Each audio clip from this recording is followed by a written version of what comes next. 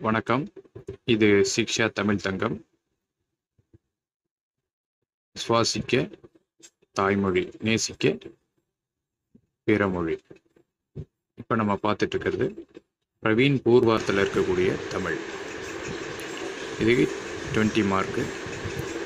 தேசிய கொடியின் சிறப்புகளை பற்றி கவிமணி தேசிய விநாயகம் பிள்ளை நமக்கு கூறும் கருத்துக்களை தொகுத்து எழுத சொல்லியிருக்காங்க. முதல்ல இந்த தேசிய கொடி. தேசிய கொடியை வடிவமைத்தது தேசிய கொடியை உருவாக்கியது அப்படின்னு ரெண்டு விதமான கருத்துக்கள் இருக்குது தேசிய கொடியை உருவாக்கியது யாருன்னா பிங்கிலி வெங்கையான்னு ஒரு தெலுங்குக்காரர் தான் இந்த தேசிய கொடியை உருவாக்கியிருக்காரு பெங்கிலி வெங்கையா. அவர் உருவாக்கின அந்த கொடி உள்ள அந்த கலரெல்லாம் இப்போ நம்ம பார்க்குறது? தான் ஆனால் உள்ள ராட்டை இருக்கும். அதுதான் நம்ம இந்த முகப்பு வச்சுருக்கேன் நான். அடுத்து அந்த கொடிய நீல அகலம்லாம் வடிவமைத்தது ஒரு முஸ்லீம் பொண்ணு சுரையா. அவங்க பேர் என்னென்னா சுரையா பக்ருதீன் தியாப்தி அப்படின்னு ஒரு முஸ்லீம் பெண் தான் இந்த நம்மளுடைய தேசிய கொடியை வடிவமைச்சிருக்காங்க. இது சும்மா ஜென்ரலான கருத்துக்கள் தெரிஞ்சிக்க. இப்போ நம்ம பார்க்குறது தேசிய கொடியினுடைய சிறப்புகளை பற்றி கவிமணி நமக்கு கூறும் கருத்துக்கள் என்ன?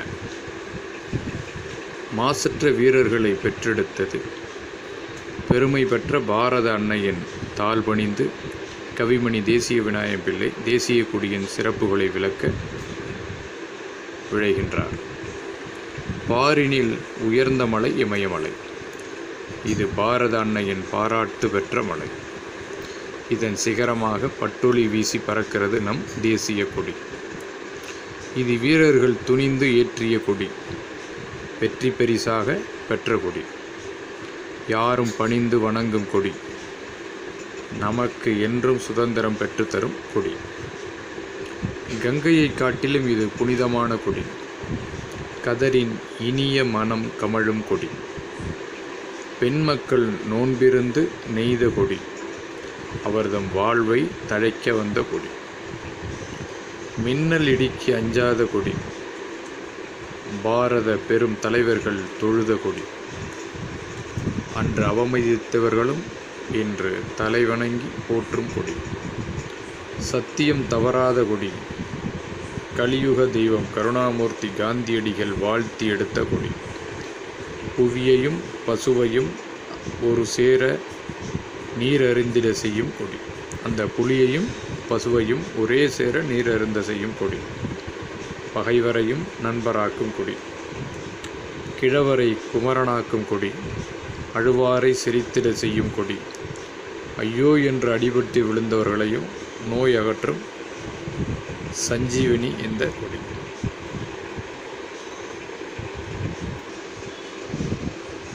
ஏழையின் கண்ணீரை துடைக்கும் கொடி. உழைத்து முன்னேற நம்மை நாளும் ஊக்கமூட்டும் கொடி. நம் நாட்டில் ராட்டினத்தை விட சிறந்த படை இல்லை என்பதை உணர்த்தும் கொடி. உள்ளத்தில் ஊக்கத்தை ஊட்டி தேச சேவை செய்திட செய்ய தூண்டும் கொடி. ஆக்க செயல்களால் நம்மை ஆண் சிங்கமாக்கும் கொடி. நாடு நமதாக காரணமாக இருந்த கொடி. நம் நாட்டை நாமே ஆள வழிவகுத்த கொடி. குடிசை மீதும் பறந்து சிறந்து வீடும் நாடும் நமதென பெருமை பேச வைக்கும் கொடி. மானத்தை உயிரினும் மேலாக போற்றும் கொடி. நம் நாட்டை மானமாக விளங்குவதும் நம் தேசக்கொடி. நம் நாட்டின் மானமாக விளங்குவதும் நம் தேசக்கொடி. இதை மாசுபட செய்வது பாவத்திலும் பாவம். ஆகவே இந்த உலகத்தில் நாம் உயிர் வாழும் காலம் வரை மிக்க ஊக்கமாக இதை காத்து புகழ்ந்து சேர்த்து மகிழ்ந்திடுவோம். இறுதியில் கவிமணி உலகில் பொய்மையன் இருள் அகல வேண்டும். காந்தியடிகளின் சிறந்த சிந்தனைகள் எங்கும் நிறைய வேண்டும். எங்கும் அறம் தழைக்க வேண்டும். பயிர்கள் செழித்து வளர்ந்து எங்கும் பசுமை நிறைந்திட வேண்டும் என்று. உலக நேய உணர்வை நமக்கு வெளிப்படுத்துகிறார். ஒரு கொடியை தேசிய கொடியை எவ்வாறு போற்றி வணங்க வேண்டும் என்பதை குறித்து கவிமணி தேசிய விநாயகம் பிள்ளை கூறியதை பார்த்தோம். இது வியூவர்ஸ் உடனடியாக இதை சப்ஸ்கிரைப் பண்ணி பெல் பட்டனை கிளிக் பண்ணுங்கள் அடுத்து ஒவ்வொரு தமிழர்கள் பேசும் மிக முக்கியமான வீடியோஸ் விரைவில். நன்றி வணக்கம்.